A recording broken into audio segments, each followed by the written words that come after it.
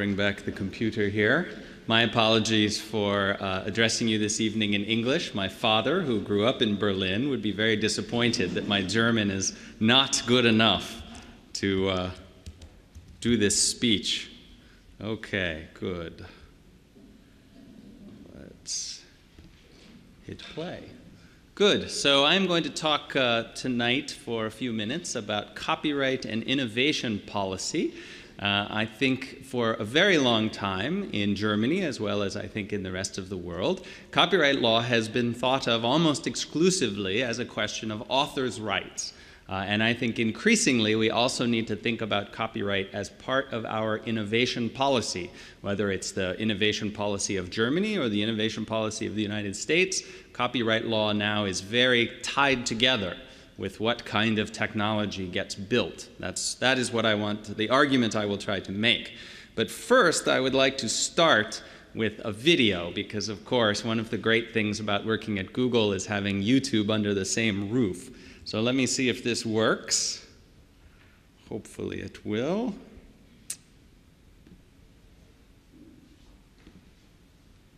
So, this is a video made at a wedding.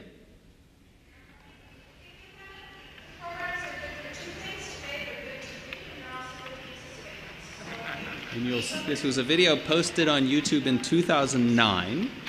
Uh, this is just a video of a group, a, a, a couple that is about to be married. And you'll see they have a very non traditional way of coming down the aisle.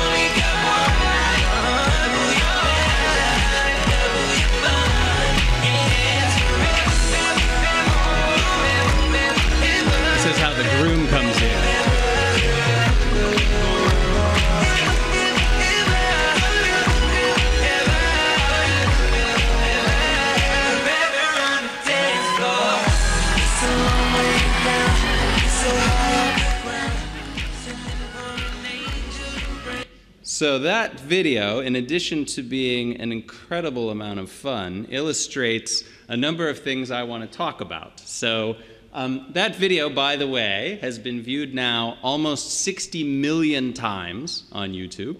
It was the third most watched video on YouTube in 2009. Uh, the, the two individuals who got married there were on all kinds of television programs and everything after this video aired. And perhaps most interesting for our purposes, the music was Chris Brown's song Forever.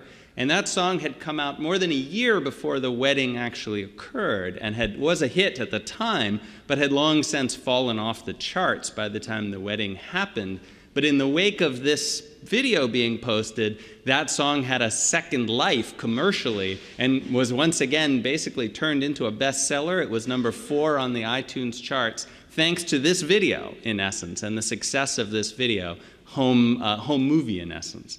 So I want to talk a little bit about the history of copyright and about why we should think that innovation policy and copyright are tied together, and then talk a little bit about the lessons we've learned and a little more about why that video actually teaches us a lot of things that we ought to remember about copyright policy that sometimes we are too quick to forget.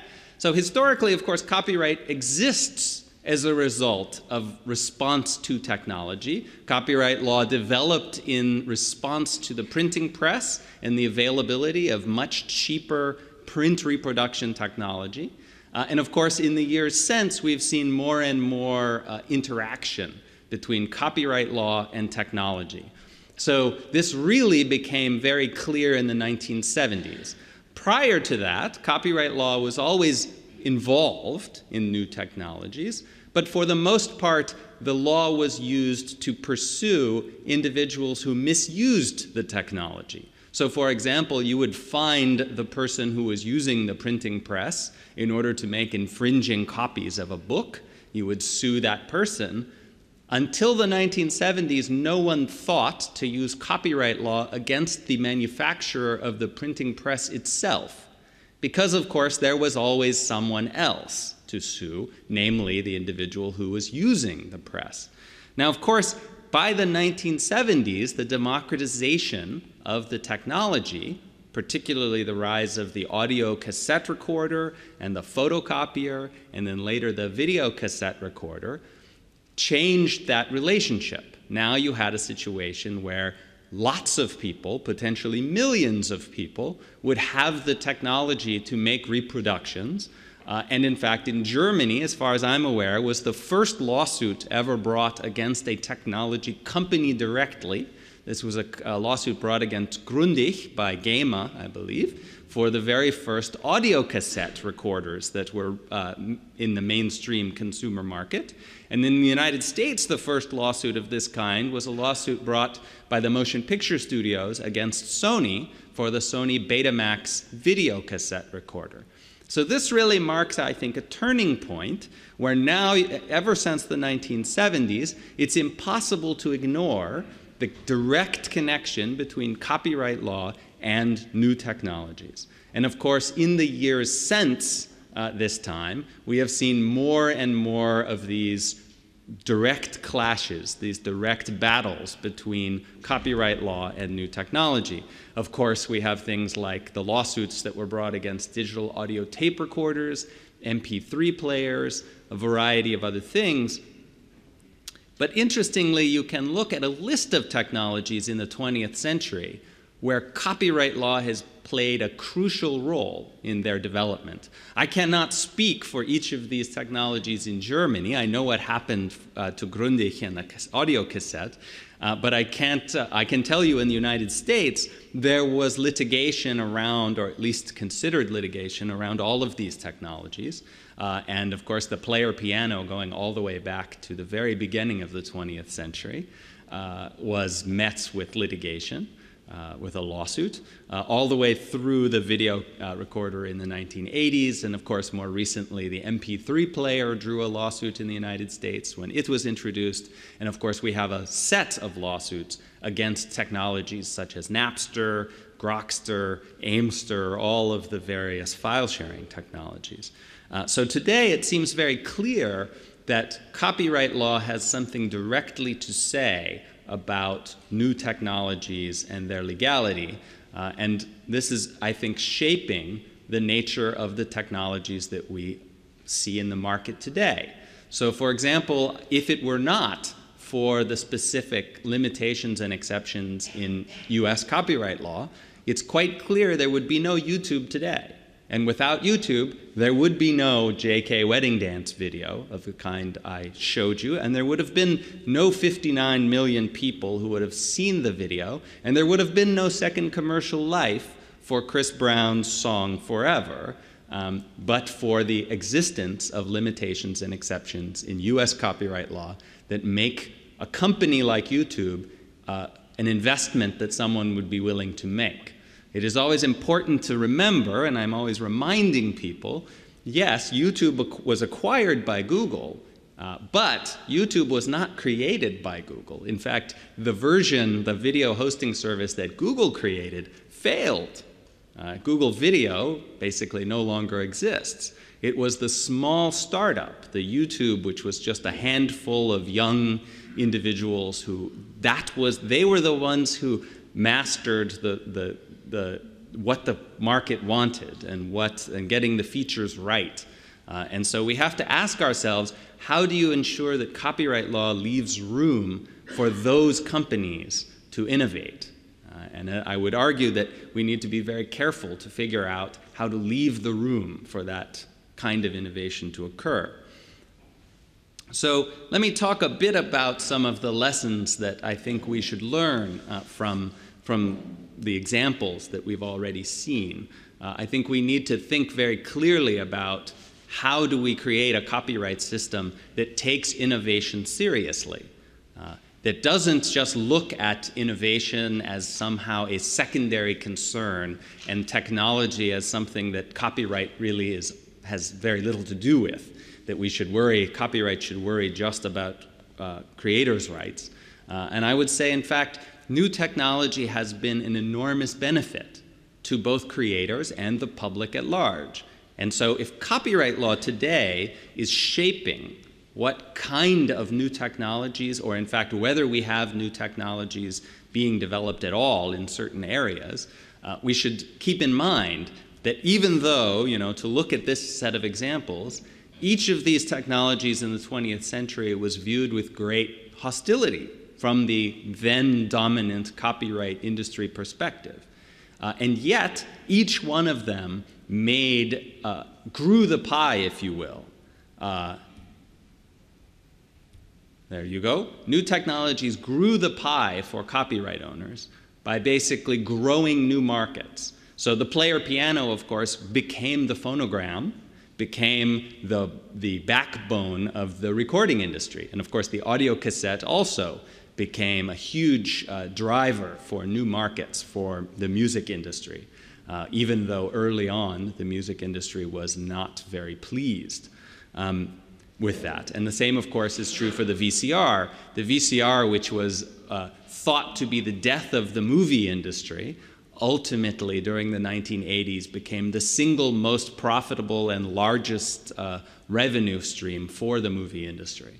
So we have to remember that there is a big win here for creators themselves to have these new technologies enter the market. Uh, often it's not even apparent at the beginning how these new technologies might benefit creators, and yet, almost without fail, they do. So, for example, it might not have been obvious in 2005 when YouTube was created that creativity like the JK wedding video would be a driver for commercial success for songs like Chris Brown's uh, uh, song Forever, uh, and yet it seems increasingly like this is the case. This year, in fact, the music videos are a very large part of the top videos on YouTube. Um, so it turns out that YouTube seems to be a real driver for precisely this kind of uh, market opportunity. The other thing I want to emphasize, a lesson that we learned, and this is essentially the point I was just making new technologies surprise us. We should never think that we know in advance what a new technology is good for. This is a very in, uh, important thing to remember that policymakers often forget. So, generally speaking, where new technologies are concerned, even the creators, the designers of the technology, often have no idea what it's really good for. Um, William Gibson, a famous science fiction author, put it best, I think, when he's, he coined the term the street finds its own uses for things. Uh, and I think that's the best uh, uh, distillation, the best explanation of this effect that new technologies often it is not apparent when they are invented what they are good for. So, to take the VCR as one example here, when the VCR was created, Sony thought that they were making a great device for consumers to record television programs to watch later. Um, Turns out that's not at all what the VCR was good for. As we all learned in the 1980s and 90s, what the VCR is good for is allowing you to go and rent movies and watch them at home. That turned out to be what the video cassette recorder was principally good for. Not at all what the initial designers imagined, and not, I think, what anyone could necessarily have imagined in 1979 when the technology was introduced, because there were no cassettes of movies to rent in 1979. So, a good example of how the combination of what a new technology can do, combined with new uh, opportunities in the market, namely pre recorded cassettes of movies, that combination showed us what the technology was really good for. So, as I mentioned uh, a few moments ago, the copyright law is is defining in important ways what kinds of technologies get built and what kinds of technologies do not. And so, to return to the example of the internet, YouTube, for example, very clearly fits within the limitations and exceptions created by the DMCA, the Digital Millennium Copyright Act, passed in the United States in 1998. So, it is a hosting service, and in fact, recently uh, many of you may have read, uh, Google prevailed in a litigation with Viacom on exactly this point. This litigation is currently ongoing and on appeal. Um, but we have YouTube, we have MySpace, we have many sites, SoundCloud, I think, is in the house, um, many sites that do hosting on behalf of users. Because this is an area that we have a limitation and exception in copyright to accommodate both in the United States and now in Europe. We also have ISPs that provide open, neutral internet access. You know, when you purchase access from a telecom provider to access anything you like on the internet. This is only possible because there is a limitation and exception for copyright in place. Otherwise, the internet service provider would have to be worried that every time you did anything that might infringe a copyright, the service provider would suddenly be liable for this, and I guarantee you, you would not get the kind of neutral, open internet access that you have today if your provider was afraid of this liability every time you logged on to the internet. Uh, and similarly, in the United States, we have the success of the search engine market, whether it be Google or Microsoft or Yahoo. Um, or there are several new players in the market, we have a specific copyright exception uh, part of the DMCA, a limitation that covers search engines. So when you look at the internet today and you see companies like Google and Amazon and eBay and YouTube, um, don't make the mistake of thinking, oh, those were just the natural winners. That is what the internet was meant to be. There was no other way the internet could have developed. There are no other markets that could have succeeded. Instead, say to yourself, why these companies and not other companies? Why services where hosting and linking and internet access, why are the big companies, the successes that you've heard of, all clustered in these very these particular markets? I would argue a big reason for that is because that's exactly where the limitations and exceptions of copyright exist. For example, if you look at peer to peer, which in the early part of this decade, many technologists believed was a very promising area of innovation. Uh, why do we not see successful big companies in the peer to peer space? In fact, BitTorrent is almost the only peer to peer company whose name I think many people have heard of. Uh, and I think part of the reason is because of the lack of limitations and exceptions that protect peer to peer technologies uh, as distinguished from hosting and other technologies. So copyright is acting in the background, and we should remember when we think about copyright law that it is uh, guiding some of our innovation investments. So, finally, I want to also emphasize that these new technologies are also encouraging an enormous amount of creativity. So, in the American tradition, of course, we think about copyright law as uh, something we do in order to encourage innovation that would not otherwise occur.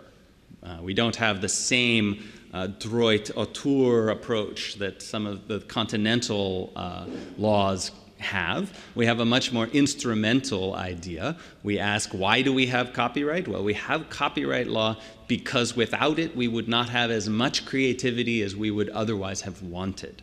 So we want to create an incentive for creative activity. Well, I would, I would emphasize that if you think about the new technologies that we have seen, certainly since the 1970s, the technologies that have democratized reproduction and increasingly democratized distribution, the internet in particular, these are technologies that have encouraged an enormous amount of creativity. To give you an idea, today there are 35 hours of video uploaded to YouTube every minute. To give you an idea of how much video that is, every month that is more video than the major television networks in the United States have created in the last 60 years combined. So YouTubers today are making every month more video than all of television essentially has ever made put together. Right?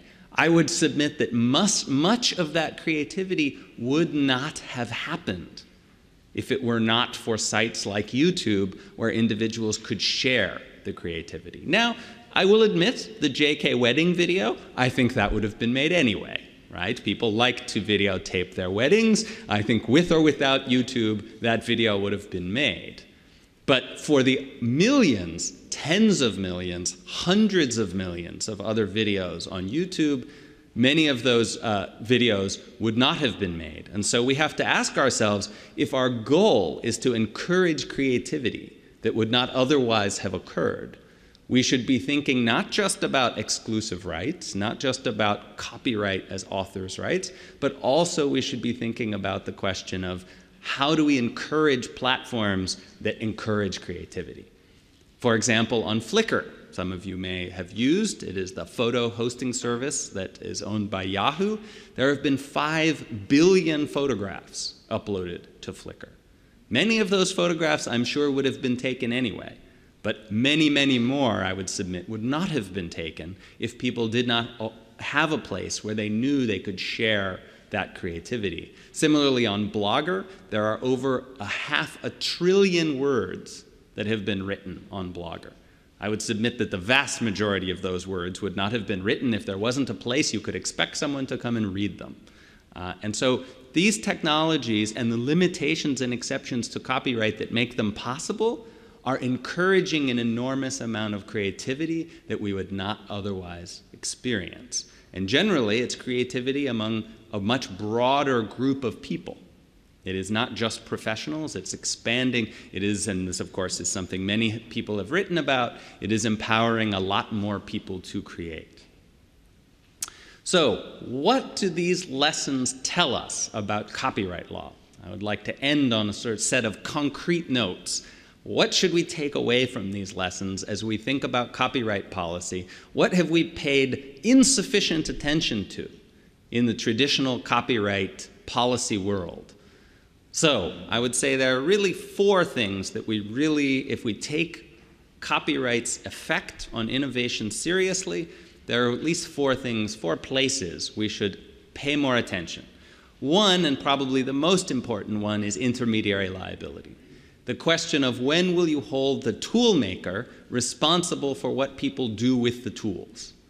This is critical because, as I said, your internet service provider would not be giving you the internet access that they are if they, did, if they thought they could be responsible for every bad thing you did on the internet. Similarly, there would be no YouTube if YouTube were liable for every copyright infringement committed on the platform. Would, or at least it would be a very different YouTube. It would be a YouTube that looks a lot more like television, where a lawyer has to look at every uh, piece of video, a lawyer has to approve it, there has to be insurance for every, uh, every program, It'd be very, it would not be 35 hours of video every minute. So many people talk about the fair use doctrine in the United States. I'm a big fan of the fair use doctrine, no question about it. But I will remind, I try to remind everyone I can that the fair use doctrine, that intermediary liability is at least as important as the fair use doctrine. Because you could tomorrow abolish the fair use doctrine in American law, and YouTube, the creativity on YouTube, would look exactly the same. Nothing would change. No one would care. Right? The users would continue to make their JK wedding videos, they would continue to upload. That none of this would change their behavior. On the other hand, if you removed the DMCA safe harbors, if you eliminated the limitations and exceptions for liability, YouTube would radically change tomorrow because the Googles of the world would immediately respond to that change in the legal liability landscape. So we must pay very close attention to intermediary liability. We must pay close attention to the limitations and exceptions that allow innovation to occur. We have to keep a close eye on remedies, on what can happen to you if you are found liable for infringement. Um, for example, in the United States, we have criminal liability potentially for copyright infringement. We also have statutory damages, which are mandatory damages, separate and apart from uh, actual harm. These are very chilling remedies for innovators because they fear that they could be put in jail for creating a new technology, or they could be bankrupted immediately by damages that have no, no, relationship to actual harm. We have examples in the United States of companies who never launched products, who nevertheless were sued and effectively uh, uh, uh, hit with tens of millions of dollars in liability for a product that never actually even came to market. Um, so Another area we, I think, have to focus is on what can copyright law do to encourage new markets, new authorized markets. Um, this is an area where licensing is very important. Um, I would like to, let me see if I've got this. So if you try to watch the JK wedding entrance video here in Germany, the one I just showed you, this is what you will see instead. Right? Uh, and that is because licensing is a quagmire, as any lawyer, copyright lawyer can tell you. The, especially the internationally speaking, licensing for music is extremely complicated. And as long as it's complicated, it creates a disincentive for investment in authorized alternatives, which of course makes unauthorized options that much more available and that much more attractive.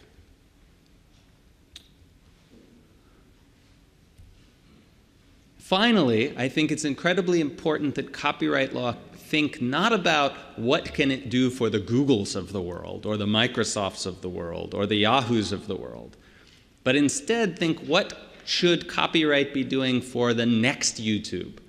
How do we leave room in a copyright system that fosters experimentation and innovation by small companies, by startups? And this has traditionally been a big problem in an environment where a lawyer will tell you, no, you can't build that, no, you can't build that, or you could build that, but the licensing would be totally impossible. It would cost you $500 million, and it would only be good in the United States. And so this is just, you should go take your engineers and work somewhere else.